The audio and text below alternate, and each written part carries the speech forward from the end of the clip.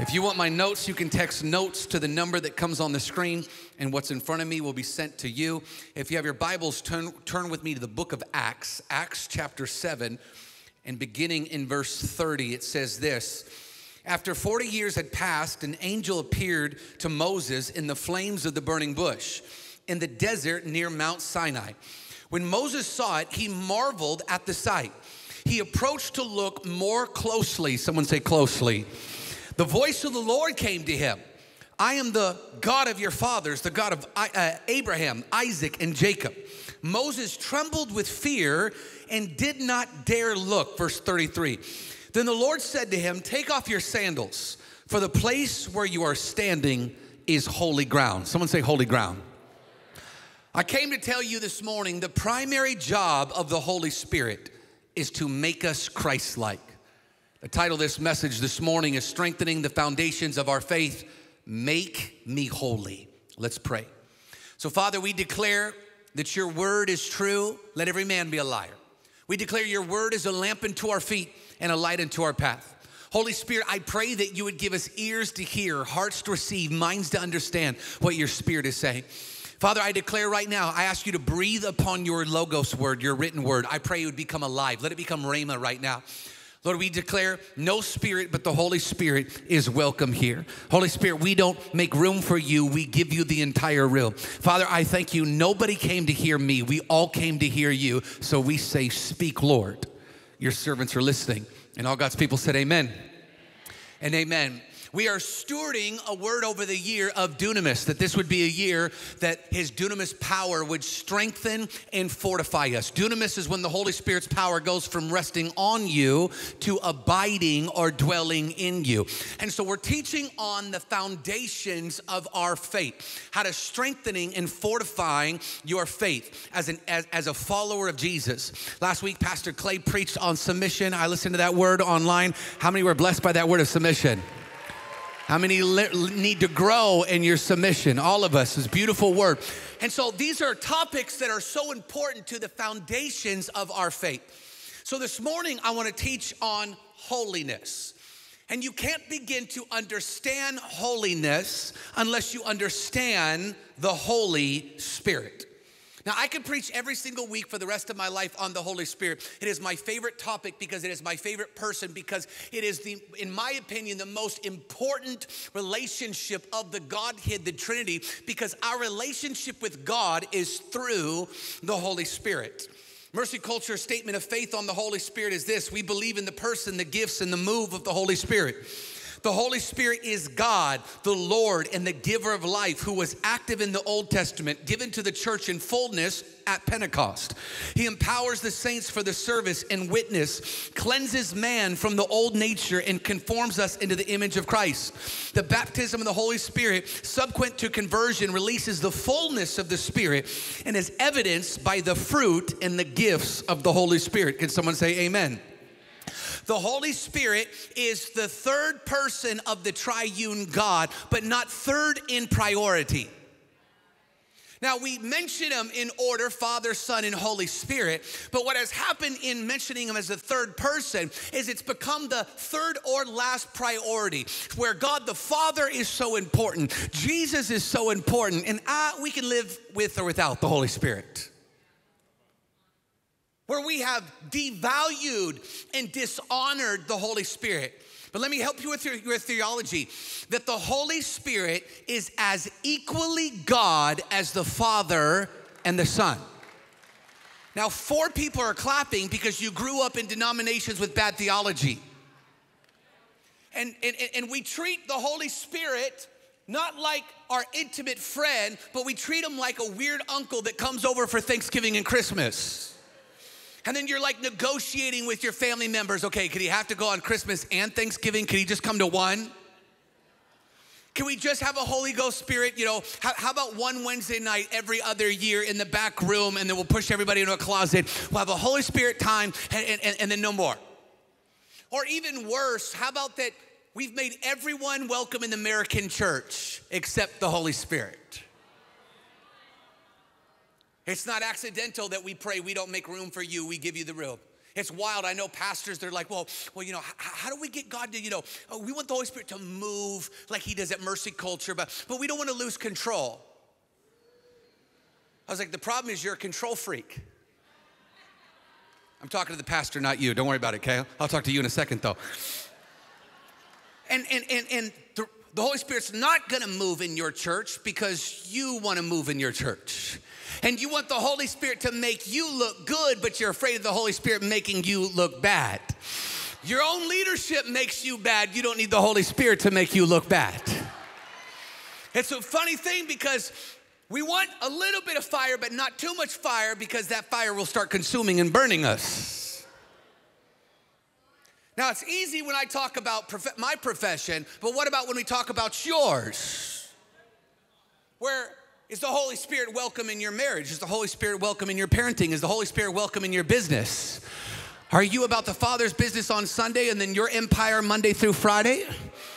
Is he, is, he, is he welcome in your business deals? Is he welcome in your friends? Some of you have church face on Sunday and then you live like heathens during the week. Told you I get to you. Is he welcome? But what we've done is we've diminished the value of the Holy Spirit. We've realized we desperately need him the Holy Spirit, this is so important, is as equally God as the Father and the Son. Matthew 28 19 says this Therefore, go out and make disciples, baptizing them in the name of the Father, the Son, and the Holy Spirit. The Holy Spirit is the unseen, least recognized member of the Trinity because he allows Jesus to do ministry and he, he hid behind the scenes. And this is how we should behave and respond where we allow the Holy Spirit to do ministry as we hide behind Him. Amen. We say this at Mercy Culture the best thing that you can do is give all attention to God. The worst thing that you could do is bring it on yourself. Here's the truth is, is where there's order, there is freedom. And I've seen when we have biblical order, we have the move of the Spirit at unforeseen, uh, unforeseen measure when we have the order of the Lord. Amen. The Holy Spirit has God works. What do I mean by God works? It is the attributes only accredited to God. He is as equally God as the Father and the Son. We see the Holy Spirit is eternal. Someone say eternal.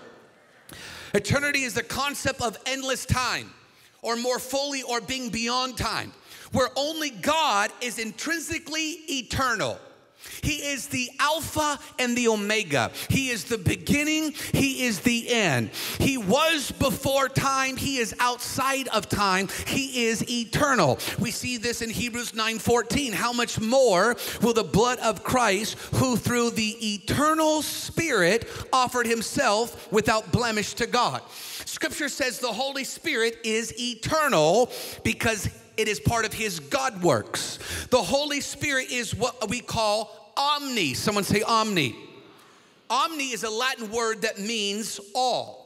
And there's a lot of omni words that begin to describe the God likeness or the God works of the Holy Spirit. Let me give you a few. The Holy Spirit is omnipresent.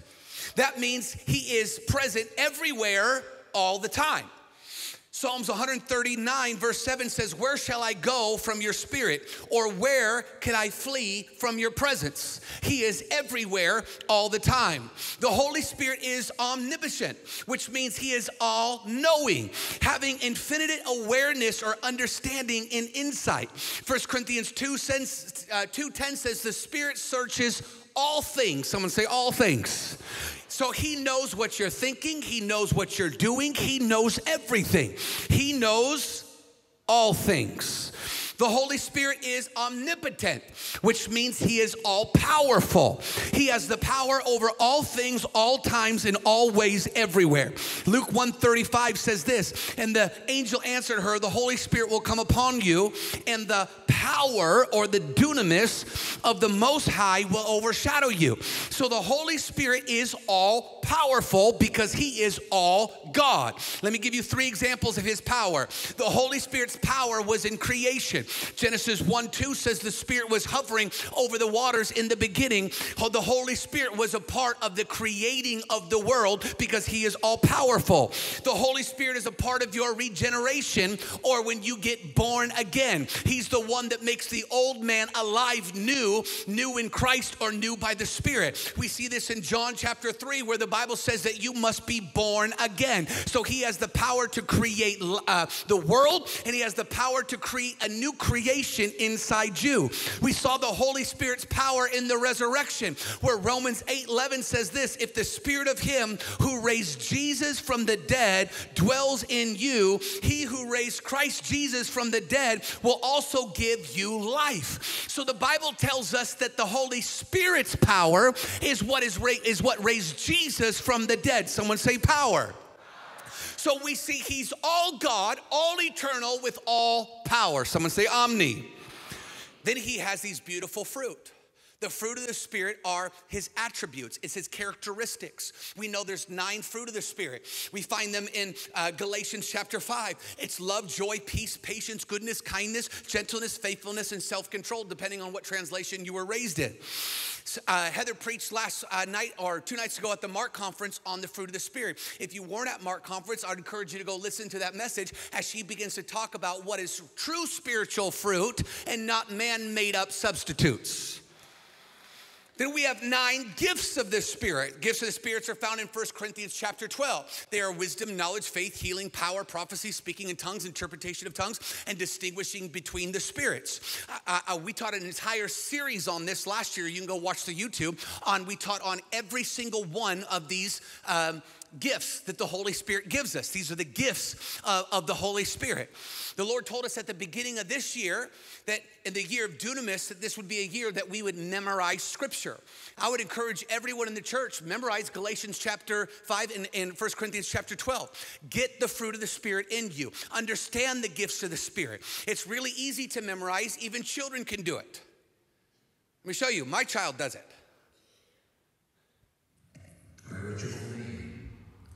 Jackson Portal Adam Shaw. And how old are you? Four. All right, tell me the fruit of the Spirit love, Love, joy, peace, patience, kindness, goodness, faithfulness, gentleness, self control. Now give me the gifts of the Holy Spirit What goes first? wisdom, Wisdom, knowledge, faith, healing, power, prophecy, speaking tongues, translation tongues, preaching your spirit. Good job, bud.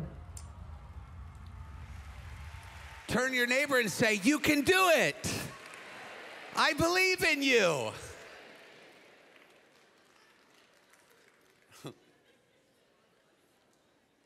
but for real, my four year old can do it. You can do it. we have symbols of the Holy Spirit that represent the Spirit all throughout the Word of God. We see him like a tapestry woven into Scripture. We see him as fire. Matthew chapter 3, uh, John the Baptist says the, Jesus is coming and he will baptize you with the Holy Spirit and of fire. We see the refiner's fire all throughout the Word of God. We see the pillar of fire in the Old Testament. We see the, the bush on fire, fire, which I already mentioned in Acts chapter 7 and Exodus chapter 3. We see the symbol of the fire of the Holy Spirit, the day of Pentecost. Speaking of Pentecost, we see in Acts chapter 2 the wind, where like a mighty rushing wind, it came into the presence of God. He moves in wind. I'll be in services constantly, and all of a sudden I'll start feeling the wind of the Holy Spirit blowing. It's not because these fans, we just got them this week. But before that, I would feel the wind. All of a sudden services, I would feel it move. It usually, uh, when I'm in services, comes from this side and goes to this side, and you'll feel this blowing of the Holy Spirit. In fact, one of the greatest personal encounters of, or daily encounters I've ever spent my entire life, I was sitting on a dock on the Sea of Galilee in Israel, and I was worshiping as the sun sun was coming up. And I remember just this breeze of the Holy Spirit was just washing over me this entire time. In fact, the Bible talks about the ruah of God or the breath of God or the wind of God that comes and blows. So we see the symbol of wind. We see the symbol of water where we see in John chapter 3 the, the symbol of breath. We see a symbol of light where we know he is the, this, the, the lamp of God or the light of God. First Thessalonians 5.19 says, we do not extinguish this light. We see him as a seal in Ephesians chapter 1. We see him as oil with the wise virgins or in Zechariah chapter 4 verse 1.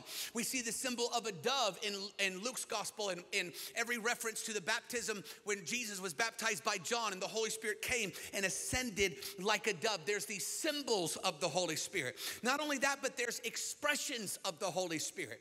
Scripture refers to it as the seven spirits of God, which there's just one Holy Spirit, but this Holy Spirit has different expressions within himself. We find this from Isaiah chapter 11 in the book of Revelation. In fact, Mercy Culture Worship wrote a song about it called The Fear of the Lord, where we're singing these scriptures from Isaiah 11 in Revelation. What are these seven spirits of uh, the Holy Spirit? We see the spirit of wisdom, the spirit of the Lord, the spirit of understanding, the spirit of counsel, the spirit of power, the spirit of knowledge, and the spirit of the fear of the Lord.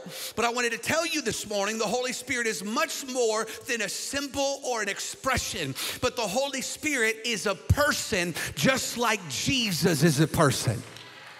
Now, this is where you really have to uh, uh, push down and drill down. Turn your neighbor and say, You're about to spiritually grow because so many people want a relationship with Jesus and their relationship with God strains, but you don't realize that you can have a relationship with Jesus just like the disciples had a relationship with Jesus.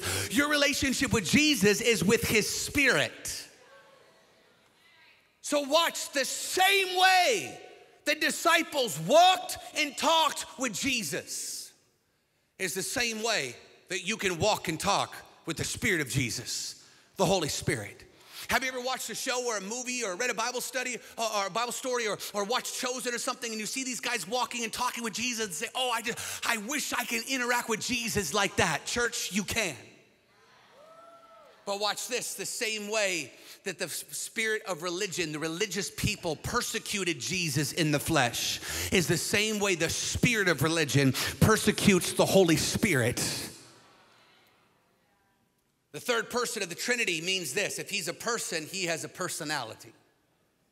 How do we know he has a personality? Because we see examples of it all throughout the Word of God. We see the Holy Spirit has a mind. Romans chapter 8, verse 27 the Holy Spirit has a will. 1 Corinthians chapter 12 tells us the Holy Spirit has feelings or can be grieved. Another way to say it is that you can actually hurt the Holy Spirit's feelings. Ephesians 4:30 tells us not to grieve the Holy Spirit. So let me just ask you this question. How do you feel the Holy Spirit feels? How do you think he feels walking into churches in America where he's not welcome? Where Holy Spirit, you can be here as long as you have a seatbelt on. As long as you don't embarrass us. Have you ever had a friend that treated you one way when you were alone and then when you got around other people treated you differently? Maybe that's how the Holy Spirit feels. Where we begin to treat him differently by who's around us. We begin to alter our behavior. See, we could grieve the Holy Spirit by our actions, by our words, by our behavior, by our heart condition. He has feelings and he can be grieved. You can lie to the Holy Spirit. We see this in Acts chapter 5, where Ananias and Sapphira thought they were lying to their leaders, their pastors, the apostles, but they were actually lying to the Holy Spirit. The Holy Spirit can be blasphemed. You can commit blasphemy or blasphemy of the Holy Spirit. What does it mean to blaspheme the Holy Spirit? You could be defiantly irreverent to him. You could on purpose be irreverent to the Holy Spirit. The Holy Spirit has behaviors or actions in his personality. What are some of those? Scripture says he is our helper. John 16, 7, I love this. Jesus said, It is to your advantage that I go, because when I go away, I'm gonna give you a helper to come to you. His name is Holy Spirit. This is wild. Jesus said to his disciples, they're with him in the flesh. He said, It's better for you that I go. Could you imagine that? It's better for the disciples of Jesus that Jesus went. Why? Because Jesus, as man, was at one place at a time, but the Holy Spirit is omni. He could be all places, all times, everywhere with everyone. He said, Watch, I'm teaching you now, but the teacher's gonna come and he's gonna talk to everybody all the time, all at once. You have immediate access to him. He said, Watch, it is better for you to come because he is your helper. Don't you understand that the Holy Spirit loves to help?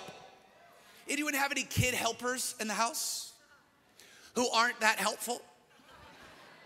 but they think they're helpful. But watch, they love to help. They love to cook. They love to help clean. They love to pick up. They're not that helpful, but they love to help. See, the Holy Spirit is helpful and He loves to help. What does he do? He really does clean up your mess. He really does pick up behind you. He really does help you get to the next place. Listen, when you can't do it on your own, he helps you. Listen, he's like a child that loves to help, loves to be involved, and is all you have to do, watch, is let him help. Oh, I feel the Holy Ghost. A lot of you have trouble that you have in your life right now, and the helper wants to help, but you got to want to want him to help. Turn your neighbor say, let him help. Turn your second choice, say, you too. The Holy Spirit reveals God's heart. Second Peter 1:21 says this, for no prophecy ever produced in the will of man but men spoke to God as they were carried along in the Spirit. The Holy Spirit will reveal God's heart to you. Do you know if you ask Him for His heart, He'll give it to you? Do you know every single day I ask the Lord for His heart? Every single day. And then what I'll find, I love this, is when you ask Him for His heart, the next thing the Holy Spirit is He begins to direct you. And He'll begin to direct you in His ways. Acts chapter 16 is an awesome example where you have the, the disciples or the apostles now. The apostles are full of the Holy Spirit, were baptized in the Holy Spirit's fire in Acts chapter 2. They're in the process of taking the gospel all over the world. Are you with me? These are the ones that walked and talked with Jesus. Now Paul has joined them. Uh, Paul's went from Saul to Paul. Okay, they're taking this all over the world. These are good men doing good things full of the Spirit. Are you with me? These are good men doing good things that are full of the Spirit. And they had plans to go into a place called Bithynia. But as they were going into Bithynia, this Bible says that the Holy Spirit kept them from going. Now, we don't know what it means when He kept them. Either the door shut, He spoke audibly, something happened, but they physically could not get to the place that they were trying to go. Now, watch this. Sometimes you can have a good heart and love God, but you're missing His will.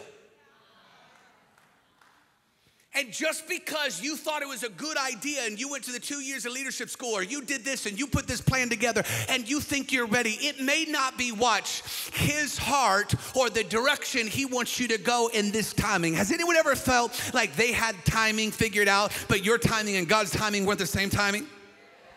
I remember when Heather was pregnant, it was awful for me.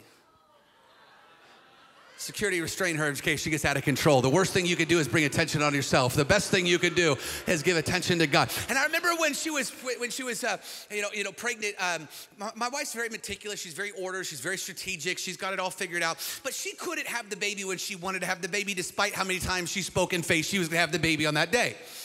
And she would get pregnant, figured out, she's like, all right, we have this baby on this date, and this date means this, and these numbers mean this, and this is great, and uh, we have the baby on this date. I'm like, okay. And then the due date, due date came and it came, and she, she's so excited, and it went past. And then the next day, and the next day, and the next day, and I'm watching like bitterness set in. And it was day six. And day six, she's like the size of the, the garage, and she's sitting in the house. And she says out loud, What? What I say? What I say? Okay. I'm trying to accurately tell the story. Okay. And, and she says, She goes, eh, I don't even think I'm pregnant.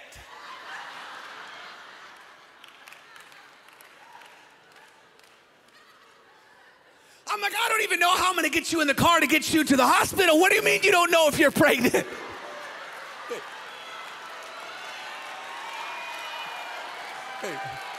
I'm just telling the story how it happened. Don't, don't kill the messenger. Hold on. She's six days past due, and she goes, I don't even think I'm pregnant.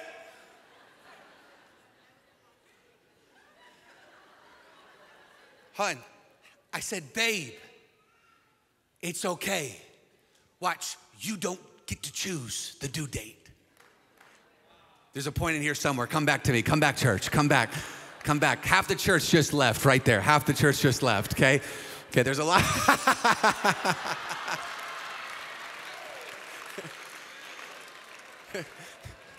okay.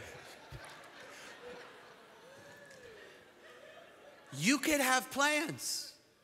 You could have everything figured out.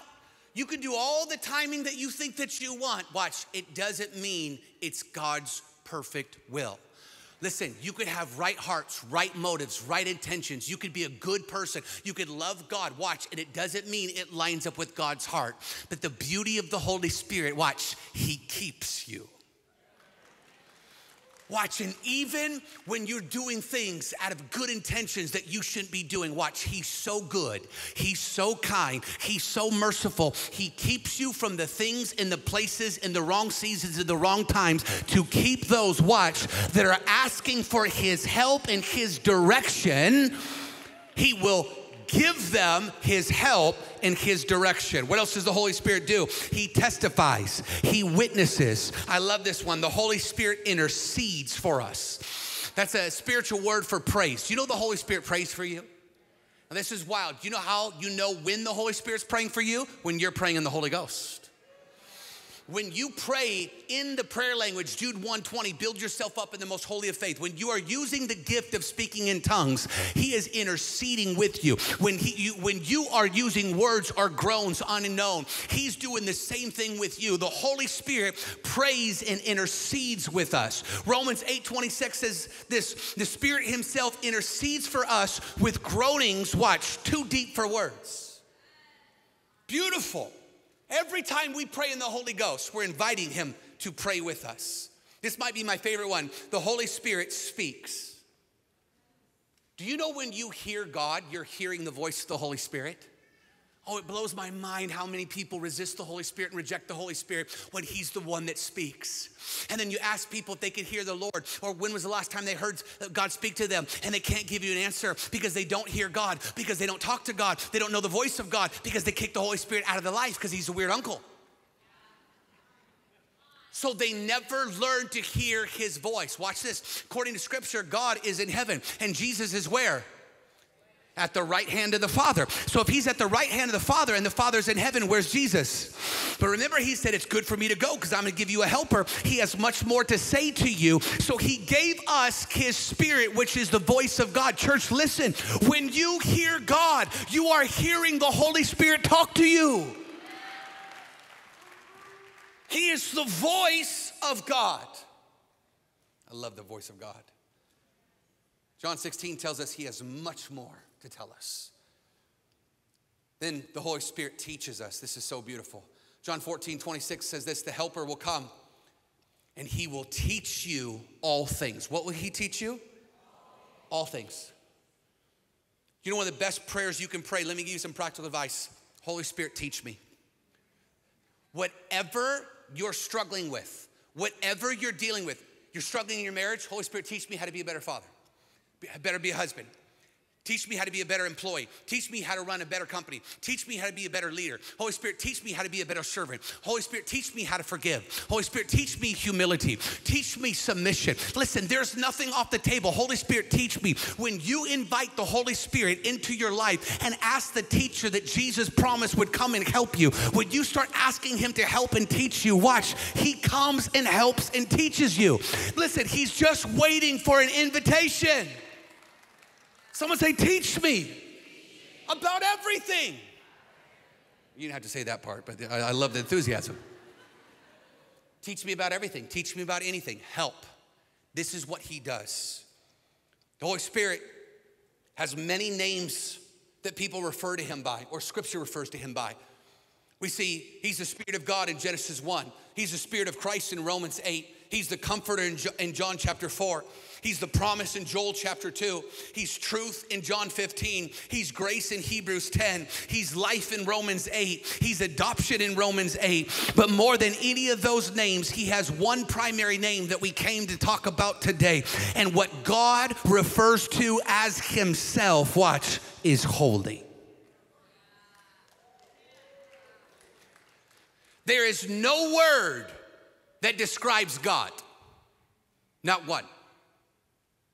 But if there was one word to begin to describe God, it's his name, holy. What does holy mean? Holy means set apart. What, is, what does that mean? It means this that there is God and then everything else. There is our God and then all other gods. There is God and then all of humanity, all of creation. He is separate, He is other, He is separated from everything. He is holy. Someone say, holy. This is His name. And watch, this is so important. The primary job, I just listed gifts, I just listed, uh, uh, listed fruit, I, I, I listed powerful things, all of these attitudes, actions, personalities, everything. I, I mentioned all this amazing, cool stuff about your relationship with the Holy Spirit. He comforts, He helps, He talks, He speaks, He does all of these amazing things. And yes, I love all of those things about Him. But listen, this is so important. Hear what I'm telling you right now. The primary work, the primary job, the chief obligation of the Holy Spirit, watch, is to make you Christ like. No, no, no, not to make you move in signs and wonders. Not to get you to prophesy, not to get you to speak in tongues, not to have you do signs, watch, not to make you wealthy, not to not, not to bless you, not to do any of these other stuff. Watch, the primary work, this is it at the core. If, if you don't get this, you don't get it. If you don't understand this, you missed all of this. The primary job of the Holy Spirit, watch, is to make you like Jesus. When I say holiness, here's what I'm saying holiness is the separation or to be set apart from his creation. At the same time, he is set apart, he is pure. Holiness, watch, is the quality of being personally dedicated to God. So on Easter, I talked about salvation. I talked about the three stages of salvation or the process of salvation, where the first part is justification. It's when you're guilty, we're all sinners, and he says not guilty, even though you are guilty. He says not guilty. The second is regeneration, where this is where you are born again. This is where you become a new creation. We'll post this on video for on social, so you don't have bad videos about it. There you go. Okay. The second is this regeneration. The regeneration is when you're born again, you're a new creation. Then the third process is the sanctification, and this is when you become Christ like or you begin to live like Jesus. Watch, this is holiness. This is the process of looking like Him. You need to hear me today. It's not the process of your haircut, it's not the process of the length of your dress. This isn't the process of wearing makeup or not wearing makeup. This isn't about behavior modification. It's not about looking apart, it's not about a theology. Watch, it's about the process of beginning to look like the one you are close to. And here's the thing is people struggle with this and, and, and, and they stay in this, this cycle forever and they, they, they have a hard time and you have a season where you do good and then you fall away and a season where you do good and then you fall away and this, there's this battle. Paul says it, it, it, I, I, I'm beating my flesh into submission. This is the battle against the flesh and the spirit. This is the journey that the saints of God are on of living a life that reflects Jesus. And so many people are trying to do things and have accountability and, and, and have strategy and all all of these different things. And I'm not saying do those things, but I'm saying at the end of the day, there's one way to find holiness. And it won't be through anything that you do in your own strength. You want the strategy? Is all you're doing is getting as close as you can to Him. We've made it so hard Well, if I, you read your Bible enough, read your Bible. That's a great thing to do. I encourage you to do it. But don't read your Bible to be holy. Read your Bible to get close to Him. Well, if I pray long enough, and then it's not about a prayer. It's not about how you pray. It's not who you pray with. It's not who you pray in front of. Listen, I'm all for prayer. I want you to grow in your prayer life. But the, the reason is not to grow in your prayer life so that you become more spiritual. It's so that you're close to Him.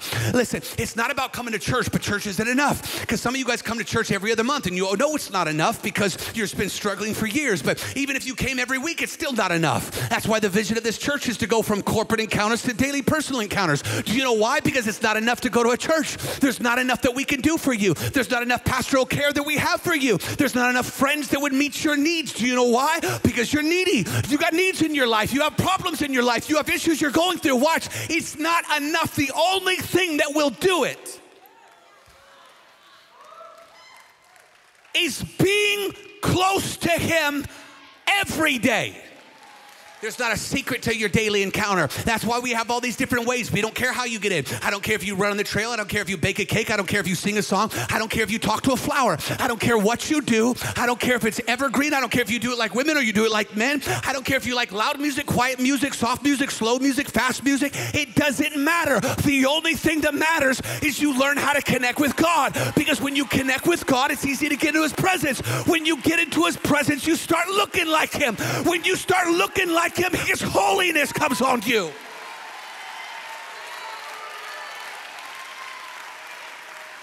This is not a game. I didn't give my life. I didn't move here not knowing anyone to set up a church to have church. I grew up in church. I've had enough of church. I've had enough of the hypocrisy. I've seen, I had enough of the deception. I've had enough of the drama. I want nothing to do with it. The only thing I want is Him. And I want Him to be with me every day. I want Him in our sanctuary. I want Him in the foyers. I want Him in the parking lot. I want Him in the small groups. I want Him in the children's ministry. I want Him in the youth ministry. If we don't have Him, we don't have anything.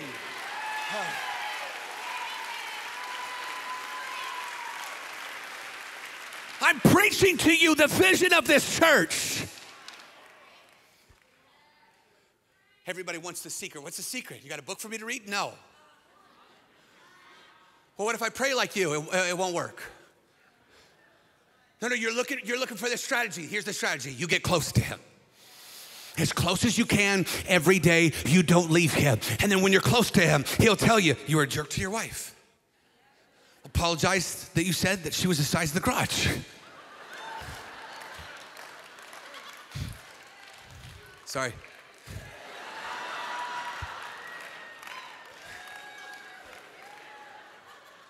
I've been in here to preach, and the Holy Spirit has told me, go apologize to your son.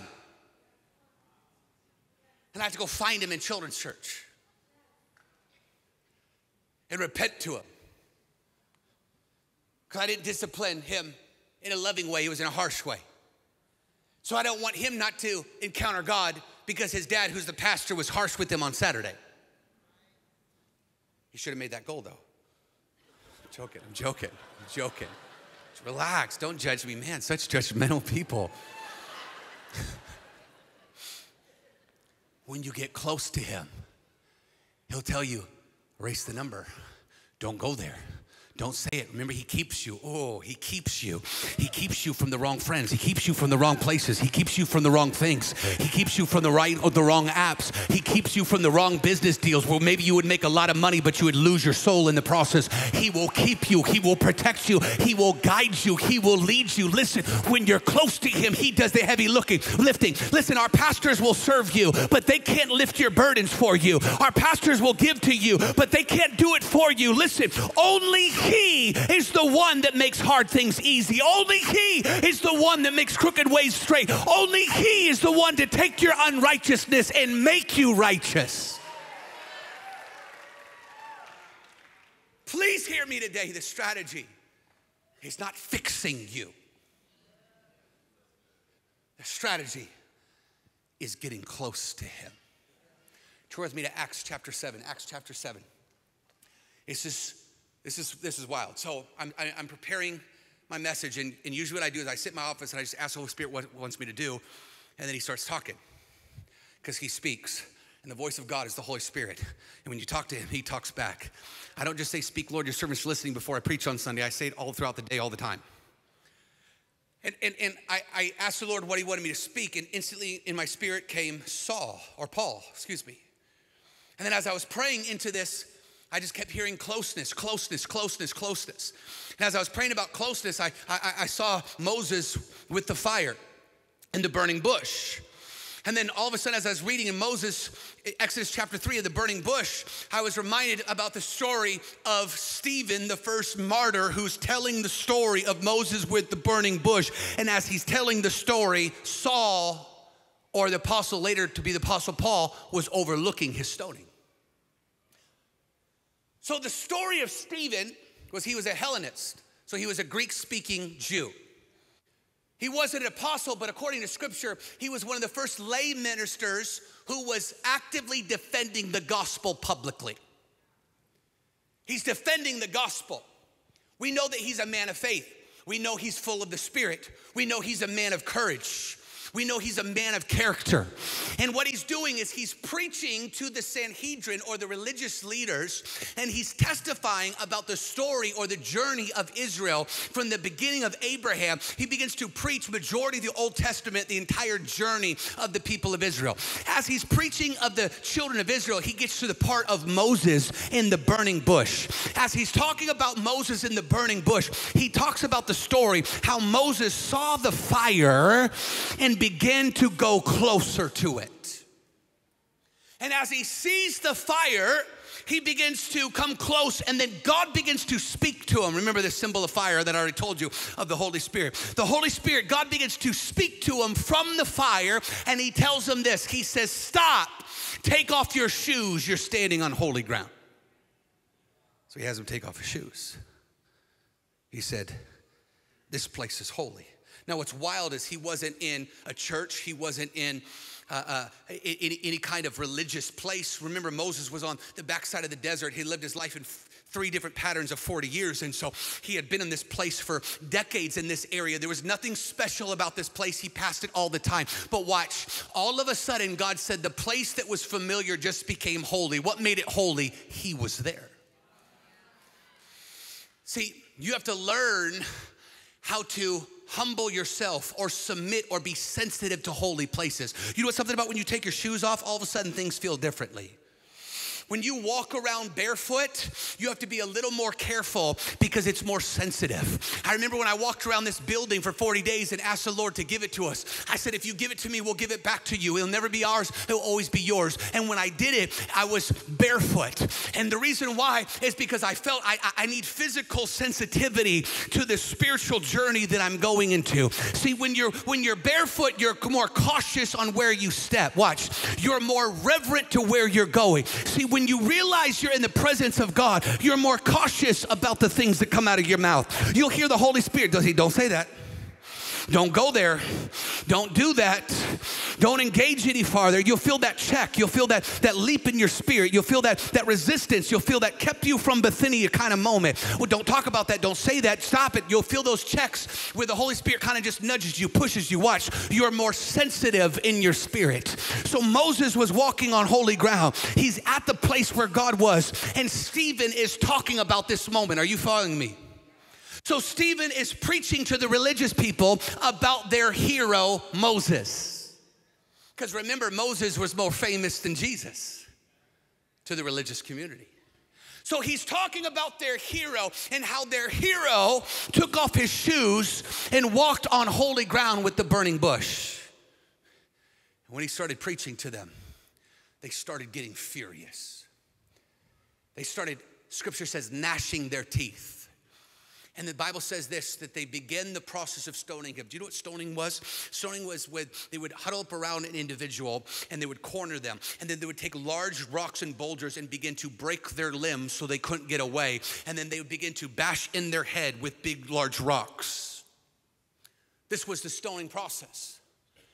And they're in the middle of this, they're stoning Stephen.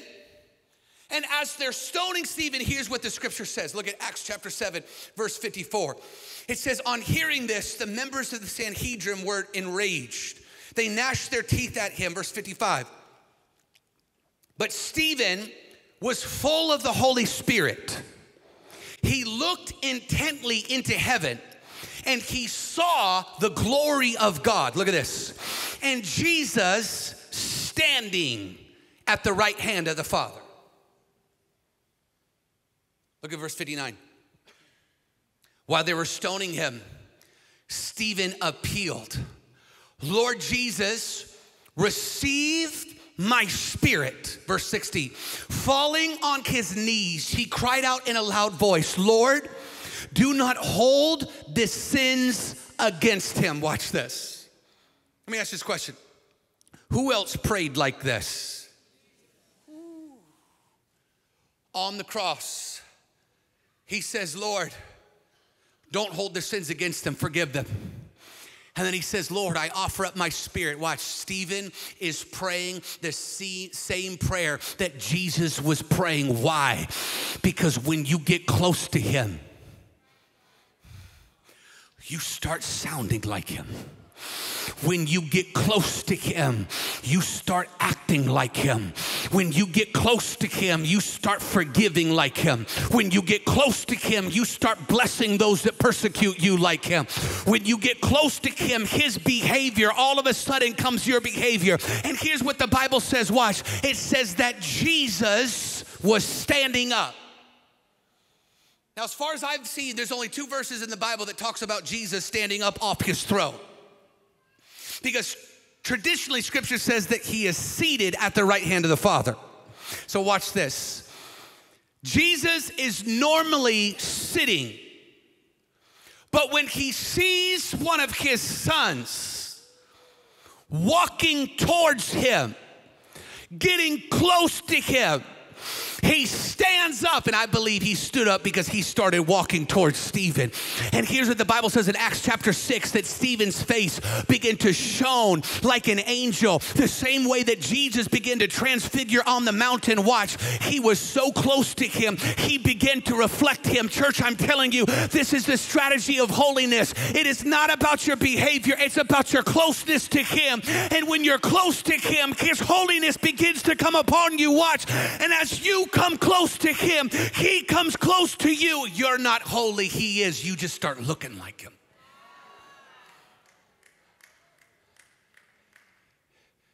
Watch, and as they're stoning him, our first martyr is smiling because hard things become easy in the presence of God. Would someone come get on this piano with me? Here's what I came to tell you today that holiness is when you begin to look like Him.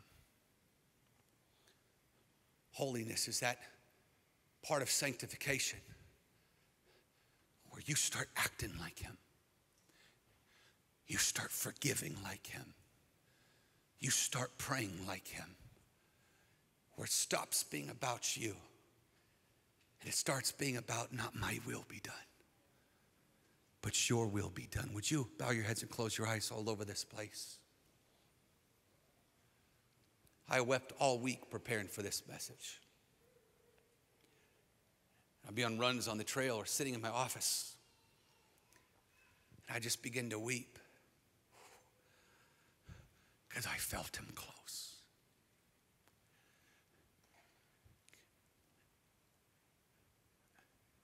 And despite how close I am to Him, my heart's cry is always, I just want to be closer. Lord, I just want to be closer. I felt the Lord prompt my heart to end this service with practical advice. When you go through MC Connect, there's a daily encounter guide. And in the daily encounter guide, there's suggestive prayers. And these are the prayers that I've been praying for years and years and years. And they're reflections of the Lord's Prayer, where Jesus says, Pray like this Our Father who art in heaven, hallowed be your name, or holy is your name. And for years, when I go and spend time with the Lord, and I start out my prayer time, I say, Father, you're holy, you're holy, you're holy. Jesus, you're holy, you're holy, you're holy. Spirit of the living God, you're holy, you're holy, you're holy. And the reason why I pray that is because the Bible says in the book of Revelation that the angels who are closest to Him, it's the only thing they see. It's the only thing they declare. That every time they circle Him and they see another aspect of His glory, they cry the louder, Holy, holy, holy. Scripture says, without holiness, no one will see the Lord. I found that as I learned how to come into the presence of God and encounter Him on a daily basis, when I begin my time with the Lord by recognizing His holiness, it's so easy to come into the holy place because I'm declaring that's where I want to go, that's where I want to be. I just want to be closer to you. And recently, I found a new prayer come out of me. When I, in my daily encounter, I say, Father, you're holy, you're holy, you're holy. Jesus, you're holy, you're holy, you're holy. Spirit of the living God, you're holy, you're holy, you're holy. I found myself praying, make me holy. Make me holy. Make me holy. I just want to be close to you.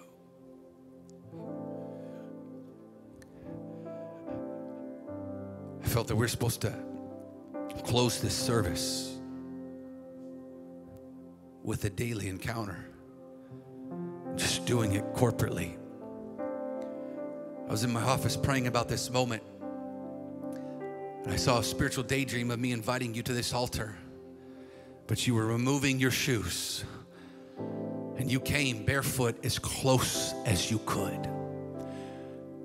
So you don't feel obligated to participate, but I would invite anyone who wants to to come to this altar right now, all over the balcony. If you're watching online or any Mercy Culture community, just find a place to kneel. Remove your shoes and let's find holy ground. Come as close as you possibly can. Get as close as you possibly can. Even in the balcony, I would encourage you, make your way out of the balcony. These are one of these moments. Find your way, even if it's, it's on the stairways, as close as you can to the moment. Any person that says, I just want to be closer to you. I just want to be closer to you. I just want to be closer to you.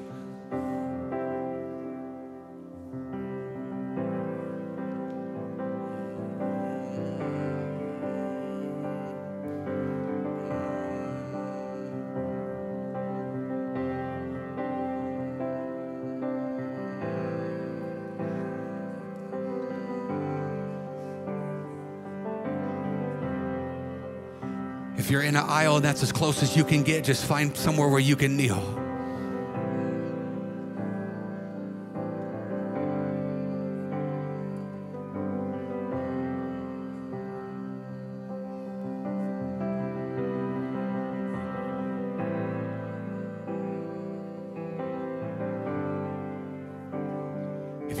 Online, find a place that you can kneel. Pull your car over, stop running, whatever you're doing. If you're at work, find a place where you can go kneel.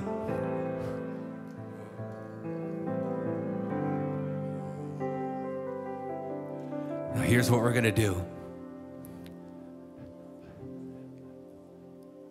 we're going to declare the Father is holy three times, that Jesus is holy three times. The Holy Spirit is holy three times. We're going to declare what the angels are declaring. And then, as many times as you want or need to, would you just start saying to the Lord, Make me holy? So, Father, we declare you are holy, you are holy, you are holy. Jesus, you are holy, you are holy, you are holy. Spirit of the living God, you are holy, you are holy, you are holy. All over this sanctuary, we declare, Father, would you make us holy? Would you make us holy? Would you make me holy? Would you make me holy? I pray right now, the wind of the living God, I pray right now, let the Spirit of God fall in this place, all over this place. Just begin to pray. Just begin to pray, make me holy. Just begin to pray, make me holy. Just begin to pray, make me holy. All over this place, I pray right now, come, Holy Spirit, come. I pray right now, our desire is to get close to you. Our desires to be close to you. Our desires to be close to you. Our desires to be close to you. We desire to be closer to you. Come on, Danny, begin to sing, Make Me Holy. I pray right now our desires to be close to you. We want to be like you. We want to sound like you. We want to forgive like you. We want to worship you. We want to be close to you. We want to forgive like you. We want to bless like you. We want to be like you. Jesus, we love you. Father, we love you. Spirit of the living God, we love you. We love you. We love you. We love you. We love you. Would you make us holy? Come on, church, begin to pray. Come on, church, begin to pray. Come on, church, begin to pray. Come on, church, begin to pray. Online campus, begin to pray. Come on, communities, begin to pray. In Canada, pray. In California, pray. In Austin, pray. In Houston, pray. In Waco, pray. Make me holy.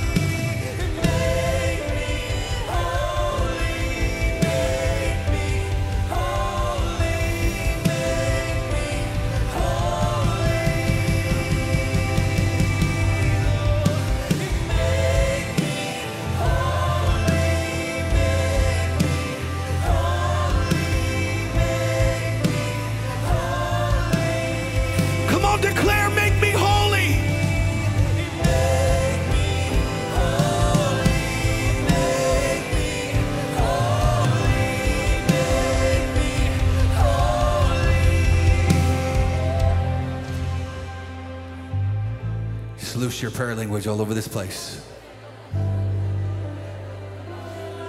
Nobody's prophesying in tongues. This is not out of biblical order. This is a Jude 120 moment. If you haven't received the baptism of the Holy Spirit, this is a great time to receive it right now. Just say, Holy Spirit, fill me right now. Just start loving on him. Tell him he's holy over and over and over and over. I've seen thousands of people get baptized by the, in the Holy Ghost by just saying, Holy, holy, holy, holy, holy, holy, holy, holy, holy, holy, holy, holy. Come on, pray in the Holy Ghost. Loose your prayer language. Come on, sing in the Spirit all over this place. Loose it right now.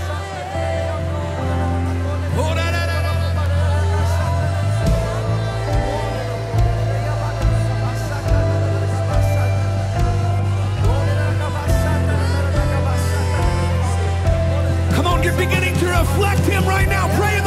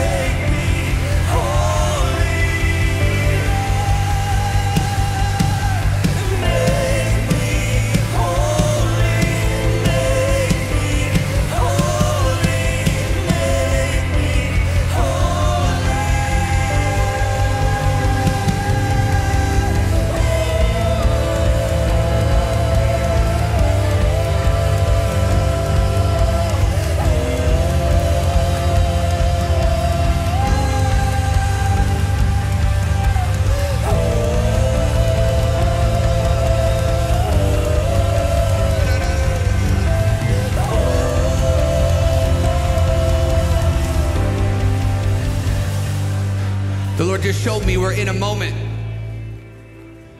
We're in a spiritual moment of today that we will see the fruit in tomorrow. Over and over and over and over, I've watched where the Lord has me in spiritual moments believe in faith and seeds are planted. And then I'll have a moment where I'll look up and I will see in fruition, I will see the tangible effect of what I sowed in faith months, weeks, or years prior.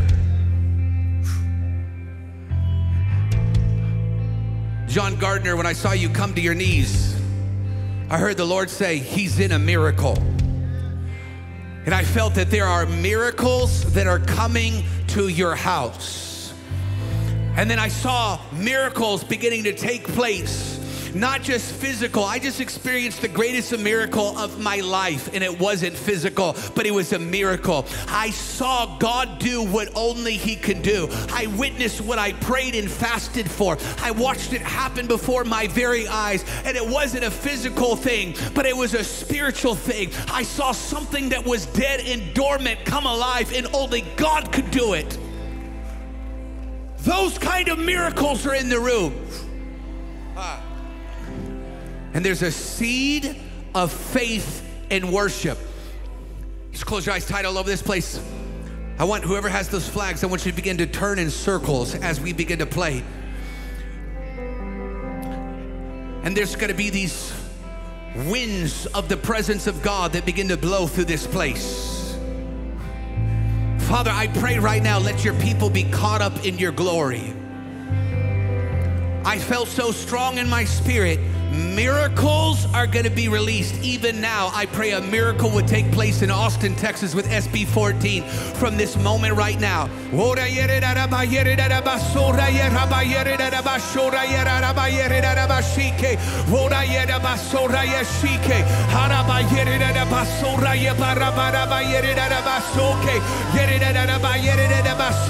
We're warring over our state. We're warring over our nation.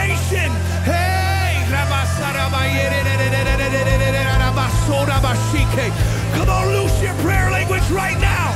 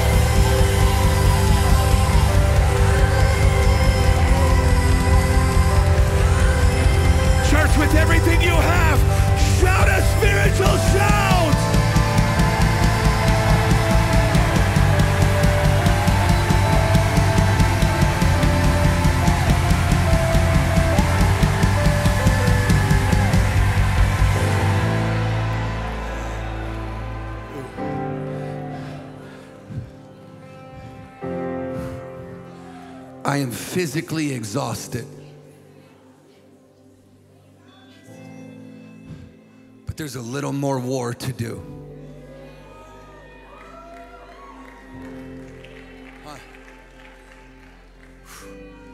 I feel this so strong. You're not warring for today. You're warring for tomorrow. Heather, come and join me. We had a prayer night on Wednesday, and I saw an army of black political leaders coming out of mercy culture.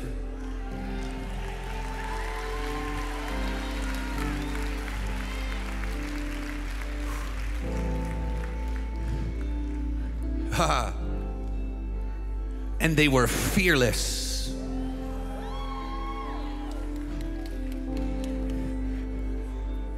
And they weren't owned by any man or party.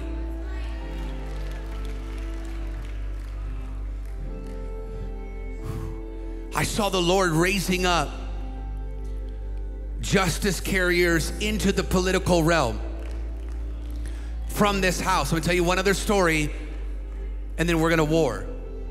As we were praying, I felt I felt God doing miracles on your behalf. It was a personal moment. When I was on my knees, I felt the Lord say, Now contend for Austin. When I was at Sean Feucht's event, Let Us Worship at the Capitol, a friend of mine who pastors in the city sent me a message and he said, I had a dream. And in this dream, there was a sexually immoral person who was running with the football. He said, and I chased him down and I tackled him at the one yard line. And at the one yard line, we got the ball back. I said, come on, you have to, sh- you have to tell this to Nate Schatzline, Representative Nate Schatzline. He begins to share it with him. Then he starts praying Zechariah 4. It's not by might, it's not by power, it's by the Spirit of the Lord. This is wild. I just saw something. As we were praying, as he was praying, I got caught up in the glory. I felt a swirl of the presence of God. Then I had a vision. What's a vision? It's a spiritual daydream. And I'm not making this up, I'm not adding to it. I saw Nate in his office with a group of Christians, and they were falling like dominoes, one by one in his office. They were falling off. That's not a good fall, that's a bad fall. And they were lonely, they were by themselves fighting. Then all of a sudden, his office was full of warring angels. And one by one, they were bringing laws into the building where they vote on laws. Now, if you're unaware, Nate and a group of godly men and women are fighting for a bill called SB 14 that would ban the sex changes of minors in Texas. It's it's been shot down two times so far by court, uh, point of orders that, that get it to be legally dropped. There's, I think, three weeks or two and a half weeks left in session. I felt right now as we pray that we need to ask the Lord to send those warring angels back to the place where they vote. Listen, to get this law passed. The scripture my friend prayed was, It is not by might nor by power, but by the Spirit of the Lord. When I was standing right here on this stage, I saw the leaders that were dropping in Austin one by one. Ah, I just saw black leaders from our house going and refilling those places. Ah.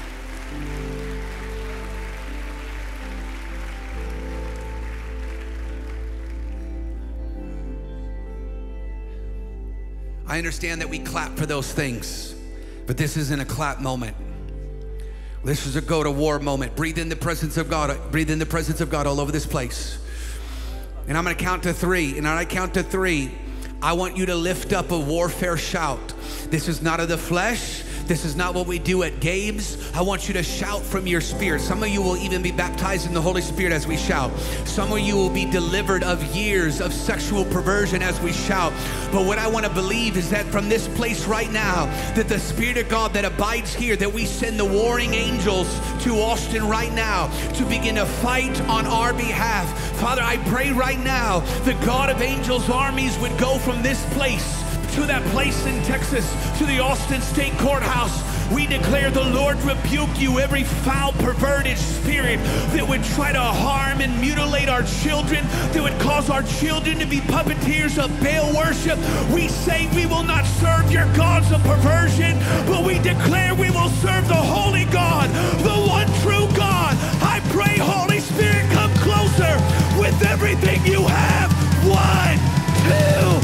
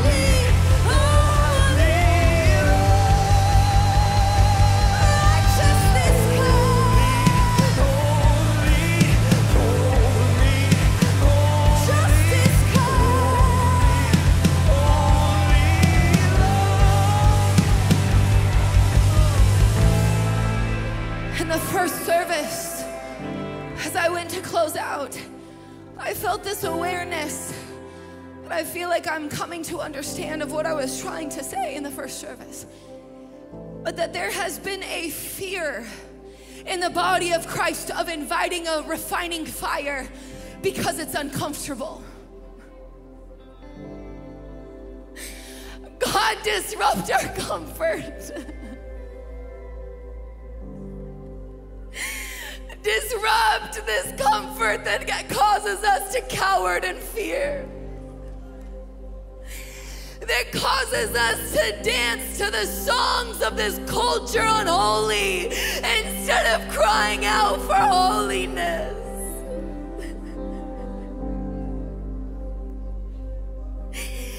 God, today we say, Fear go, and we invite a refining fire. Oh, holy fire that would purify your people in this army that you're calling in this hour. Come on, right now, would you just invite the refining fire and say, You have access to my life, you have access to my marriage, you have access in our household. Refine whatever you want to refine. Take the unholiness out, purify my mind, purify my heart, purify my motives,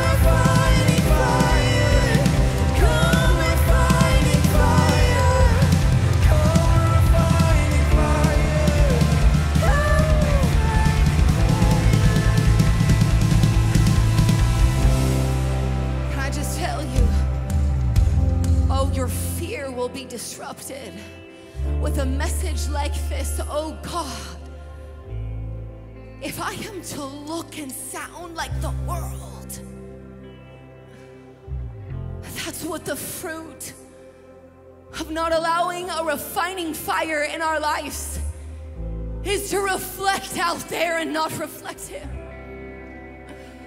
Oh God, keep us from that place.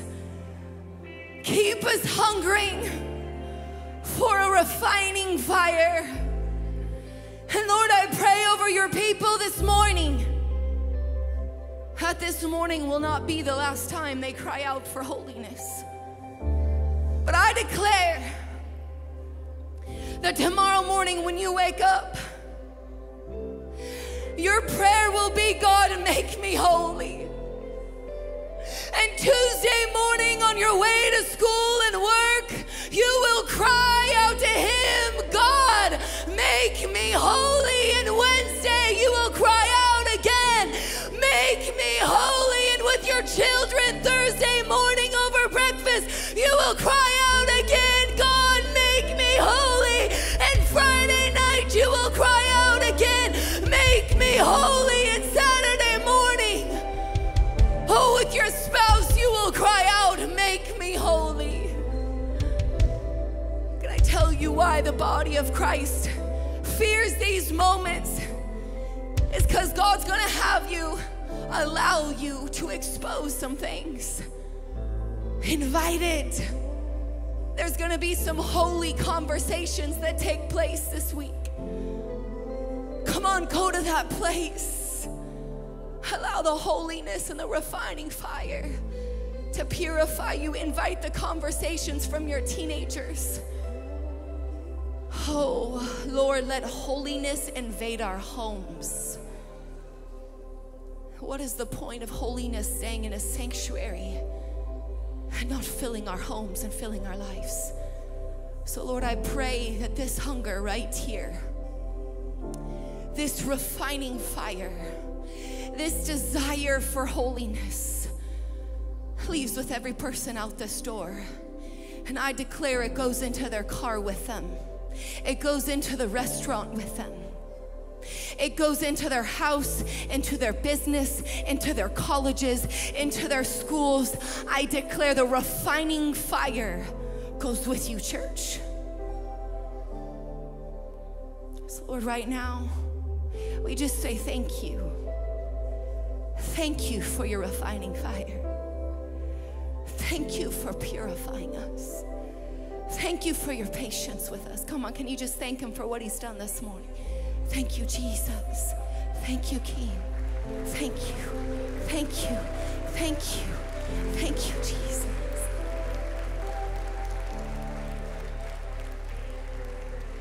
Oh, He's good.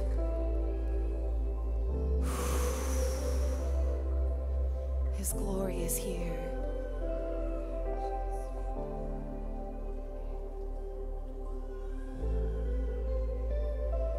Do you transition out of a moment like this?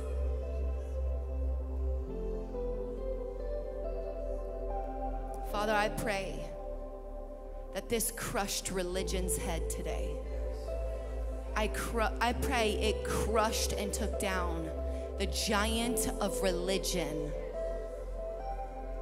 Oh, that Lord, we desire to be more and more intimate with you. So, Lord, I pray today pleases you. And tomorrow, as thousands of people cry out for holiness, that it pleases you, Jesus. We give you all of the honor and all of the glory. We give you all of the honor and all of the glory, Jesus. Amen. If there's anything that you need prayer for, our prayer team will be down here. The ways to give, as always, are on the screen. Let me bless you. Exodus 33 13. I declare over you, Lord, teach us your ways that we may know you and find your favor. Jesus' name, amen. We love you, Mercy Culture Church. Blessings.